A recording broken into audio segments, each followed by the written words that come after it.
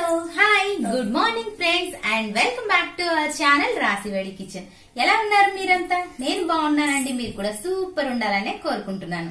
ఇవాళ అయితే ఏంటంటే అందరికీ కూడాను విష్ యూ హ్యాపీ శివరాత్రి అండి.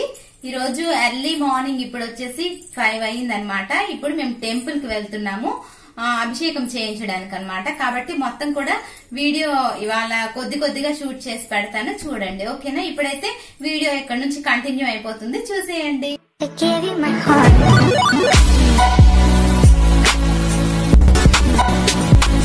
చూడండి ఇప్పుడు మా పిల్లలు కూడా విషెస్ చెప్తారు చూడండి.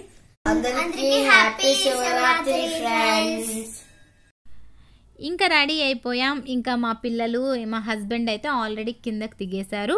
నేను కూడా ఇప్పుడైతే దిగిపోతున్నాను అనమాట కొంచెం ఒక పది నిమిషాలు లేట్ అయిపోయింది వాళ్ళకంటే నేను. ఎందుకంటే నేను ఇంట్లో పూజ అంతా చేసుకొని మరి వెళ్ళిపోవాలి కదా అందుకని చెప్పేసి నేను కాస్త లేట్గా దిగాను అనమాట దిగి ఇంకా మేము టెంపుల్ దగ్గరికి అయితే ఎంటర్ అయిపోయామండి.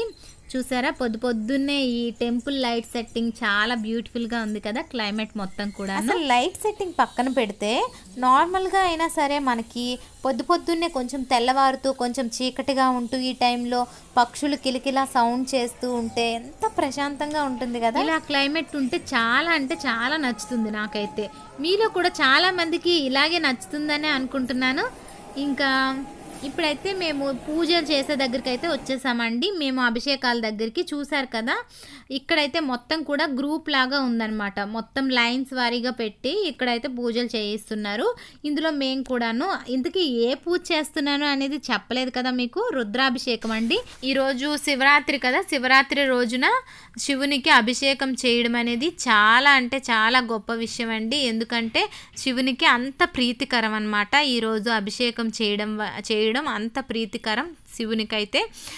కాబట్టి అందరూ కూడా చాలామంది అభిషేకాలు రుద్రాభిషేకమే కాదండి మామూలు అభిషేకాలైనా సరే చేయొచ్చు. కనీసం నీళ్ళతో అయినా కానీ అభిషేకం ఈరోజు చేస్తే చాలా మంచిది అని చెప్పి నేనైతే విన్నానండి. అందుకని చెప్పి నేను మీతో షేర్ చేస్తున్నాను. ఇంకా అక్కడ పూజ సామాగ్రి మొత్తం కూడా వాళ్ళే ఇస్తారండి. మనం ఆల్రెడీ ముందు రోజే టికెట్ తీసుకుంటాం కదా. టికెట్ తీసుకున్నప్పుడే మనం ఫోర్టీన్ హండ్రెడ్ అనమాట ఫోర్టీన్ హండ్రెడ్ మనం వాళ్ళకి పే చేసినట్టయితే మనకి పూజ సామాగ్రి మొత్తం కూడా వాళ్ళే ఇచ్చేస్తారు. మనం ఏమి కూడా తీసుకుని వెళ్ళాల్సిన అవసరం లేదు. ఏమైనా పూలు పళ్ళు కావాల్స్తే పట్టుకుని వెళ్ళొచ్చు అంతే. ఇంకా వచ్చేసి పంతులు గారికి దానాలు ఏమైనా ఇవ్వాలి అనుకునే వాళ్ళు పట్టుకుని వెళ్ళొచ్చు అనమాట ఫస్ట్ వచ్చేసి మనం ఏంటంటే ఒక బేస్ని ఈ విధంగా వెడల్పాటి బేస్ని ఇస్తారు. అందులో ఒక రాయి కూడా వాళ్ళే ఇస్తారండి. దానిపైన మొత్తం కూడా మనం పసుపు నీళ్ళు వేసి మొత్తం కూడా పసుపు రాసుకోవాలి ఆ రాయి మొత్తానికి కూడాను. ఆ తర్వాత కుంకుమతో బొట్టు పెట్టుకున్న తర్వాత దానిపైన తమలపాకు పెట్టి తమలపాకు పైన మనం ఈ విధంగా లింగాన్ని పెట్టుకోవాలన్నమాట. లింగం మొత్తం కూడా నీట్గా వాటర్తో క్లీన్ చేసుకొని లింగం మొత్తం కూడా గంధం రాసుకొని దానిపైన మనం కుంకుమ బొట్లు పెట్టుకోవాలి. ఆ తర్వాత మనకి పూజ అనేది స్టార్ట్ చేస్తారనమాట ఈ విధంగా పూజ స్టార్ట్ చేసుకున్న తర్వాత పూజ అంతా అయిన తర్వాత మనకి అభిషేకాలు అనేవి స్టార్ట్ చేస్తారు. అంటే కొబ్బరికాయలు ఇప్పుడు అందరికీ నమ తెలిసే చాలా మందికి చెప్తున్నాను, ఎలా కదా. పన్నెండు కొబ్బరికాయలు ఇస్తారు. నాలుగు కొబ్బరికాయలు ఒకసారి నాలుగు కొబ్బరికాయలు ఇంకోసారి నాలుగు కొబ్బరికాయలు ఇంకోసారి అనమాట ఈ విధంగా మూడు సార్లు మనకి అభిషేకాలు అనేవి చేయిస్తారనమాట చాలా అంటే చాలా బాగా చేయించారండి. ఎంతో మనసుకైతే చాలా ప్రశాంతంగా అనిపించింది.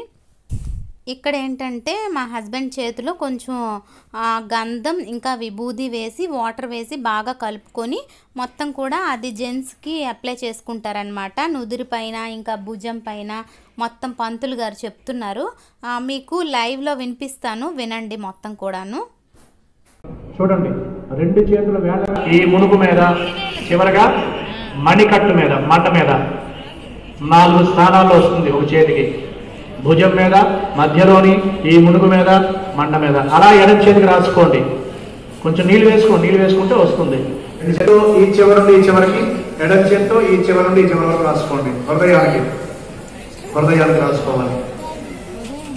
పడి రోగాలు వికాసన పడి చివరికి వెళ్ళే కన్నా ఈ స్వామివారి యొక్క ఆరాధన చేసుకొని విభూతి ధారణ చేసుకొని అభిషేకం చేస్తే మృత్యువు అమృతత్వంతో కూడుకొని ఉంటుందన్నమాట. అలాంటి విభూతి ధారణ అందరూ తూర్పుకి నమస్కారం చేయండి. ఓం నమ శివాయ అనుకోవాలి. ఇప్పుడు మగవాళ్ళందరితో కూడాను ఆసనాల్లాగా ఈ విధంగా చేయించారు. చూడండి మా అబ్బాయి అయితే ఎలా చేస్తున్నాడు? మహా బద్ధకం అండి. అసలు నేనైతే లేవనంటే లేవనని కూర్చున్నాడు. బలవంతంగా తీసుకొని వచ్చామన్నమాట. లేదంటే ఇంట్లో పడుకొని ఉండిపోతాను మీరు వెళ్ళండి అని చెప్పేసి అన్నాడు. మా అమ్మాయి ఏమో ఫుల్ రివర్స్ అనమాట ఎందుకంటే early morning four o'clock లేవాలంటే త్రీ ఓ క్లాక్ త్రీ థర్టీకే లేచిపోయిందండి. లేచి మమ్మల్ని కూడా లేపేసింది అనమాట లేపేసి ఇంకా స్నానం చేసేసి ఇలాంటి వాటికి మాత్రం తొందరగా లేచిపోతుంది. బాగా ఇంట్రెస్ట్. పూజల కన్నా ఏమన్నా కానీ ఎర్లీ మార్నింగ్ మార్నింగ్ ఎన్ని గంటలకు లేచిపోవాలన్నా లేచిపోతుంది. రాత్రి పడుకోవద్దన్నా కానీ పడుకోకుండా ఉండిపోతుంది అనమాట అదే మార్నింగ్ స్కూల్ ఉంది రేపు ఎగ్జామ్ ఉంది అని అన్నాం అనుకోండి ఎయిట్ ఓ క్లాక్ వరకు మరి తెలివే రాదు నిద్ర సరిపోదన్నమాట. ఇలాంటి పూజలు ఏమైనా ఉన్నాయి అంటే చాలు చక్కగా లేచిపోతుందండి. చాలా ఇష్టం దానికి. రోజు ఎర్లీ మార్నింగ్ దీపం కూడా ఇంట్లో పెట్టేస్తాను అంటదనమాట మంచిదే దేవుడు భక్తి ఉండడం చాలా మంచిదే ఆడపిల్లకి. కానీ స్కూల్ అంటే కూడా లేవాలి కదండి. మరీ దారుణంగా సెవెన్ థర్టీ వరకు ఎయిట్ థర్టీకి స్కూల్ అంటే సెవెన్ థర్టీకి కూడా లేవకపోతే ఇంకేం చేస్తాం చెప్పండి? మీ ఇంట్లో కూడా అందరూ పిల్లలు ఇలానే ఉంటారండి? లేదంటే మా పిల్లలు ఇలా ఉంటారా అనేది నాకు డౌటు. ఇంకా చూసారు కదా ఇప్పుడైతే అభిషేకం అయితే చేయించేస్తున్నారండి ఇది వచ్చేసి ఫస్ట్ అభిషేకం అనమాట ముందుగా మీరు అన్నీ చూసుంటారు. తెలిసిందే కదా అభిషేకానికి ఏమేమి యూస్ చేస్తారు ఏంటి అనేది. అక్కడ మొత్తం అన్నీ ఇప్పుడు నేను వేసేది పళ్ళు రసాలండి ఆ ఫ్రూట్ జ్యూస్ అనమాట మొత్తం అది కూడా వాళ్ళే ఇచ్చారు. ప్రతిదీ వాళ్ళే ఇచ్చేస్తారు. మనం ఏం తీసుకురావాల్సిన అవసరం అయితే లేదు. పూలతో సహా తెచ్చేసారండి నెక్స్ట్ మారేడు పత్రి. మారేడు పత్రి చాలా చాలా ఇంపార్టెంట్ కదా రుద్రాభిషేకం అనేసరికి. ఇంకా అవి కూడా తెచ్చిచ్చేసారు ఇంకొచ్చేసి ఇప్పుడైతే నాలుగు కొబ్బరికాయలు కొట్టిచ్చేస్తున్నారండి. ఫస్ట్ వచ్చేసి నాలుగు కొబ్బరికాయలు కొట్టాలి. కానీ కంటిన్యూస్గా అభిషేకం చేస్తూనే ఉండాలండి. పాలు పెరుగు ఇంకా నెయ్యి తేనె ఇవన్నీ వాటితో పాటుగా అవి అయిపోయిన తర్వాత అయినా సరే ఖచ్చితంగా నీళ్ళతో అయినా సరే కంటిన్యూస్గా అభిషేకం అనేది మనం ఆపకూడదనమాట లాస్ట్ వరకు చేస్తూనే ఉండాలండి. అలా చేస్తేనే ఆ శివునికి చాలా ఇష్టం అంట ఇంకా అభిషేకం అయితే కంప్లీట్ అయిపోయిందండి. తర్వాత లాస్ట్లో మనం దేవునికి ప్రసాదం సమర్పించుకున్నాము అంటే పూజ అయిపోయినట్టే. అసలు ఎప్పటి నుంచో రుద్రాభిషేకం చేయించుకోవాలి అని చెప్పేసి అనుకుంటా ఉన్నానండి. మా పెళ్ళైన కొత్తలో ఎప్పుడో ఒక టూ టైమ్స్ ఏమో చేసున్నాము. ఆ తర్వాత ఫోర్ ఇయర్స్ బ్యాక్ నుంచి ఈ సంవత్సరం చేద్దాం చేద్దాం అని అనుకుంటా ఉన్నాము. ఏదో ఒక అడ్డంకులు అనమాట చేయడానికి వీలు పడకుండా అయిపోయేది. కానీ ఈసారి చేద్దామని అస్సలు అనుకోలేదు. అనుకోని టైంలో నాకు దేవుడు ఈ అవకాశం ఇవ్వడం అనేది నాకు చాలా అంటే చాలా మనసు ప్రశాంతంగా అనిపిస్తుంది. ఈ పూజ చేయడం ఈ అభిషేకం చేయడం. ఇంకో విషయం ఏంటంటే ఇదంతా కూడాను మీ అందరితో షేర్ చేయడం నాకు చాలా ఆనందంగా ఉందండి. ఇంకా ఇక్కడ మొత్తం మాకు అభిషేకం అయిపోయిన తర్వాత పక్కనే ఉన్న స్ఫటికలింగాన్ని దర్శించుకోవడానికి వచ్చాము. మీరు కూడా దర్శించుకోండి. ఇంకా మరోసారి మీ అందరికీ కూడాను శివరాత్రి శుభాకాంక్షలు అండి అందరూ కూడా ఆయుర ఆరోగ్య ఐశ్వర్యాలతో ఎవరెవరు అనుకునే పనులు వాళ్ళకి సక్రమంగా జరిగి ఆనందంగా ఉండాలని మనస్ఫూర్తిగా కోరుకుంటున్నానండి. ఓకేనా? నా వీడియో మీకు నచ్చింది అనిపిస్తే మాత్రం లైక్ చేయండి షేర్ చేయండి. కొత్తగా మన ఛానల్ ఎవరైనా చూస్తే సబ్స్క్రైబ్ చేసుకోవడం మర్చిపోవద్దు. మరో మంచి వీడియోతో మళ్ళీ మీ ముందుకు వచ్చేస్తానండి. అంతవరకు take care see you guys bye bye happy Shivaratri friends.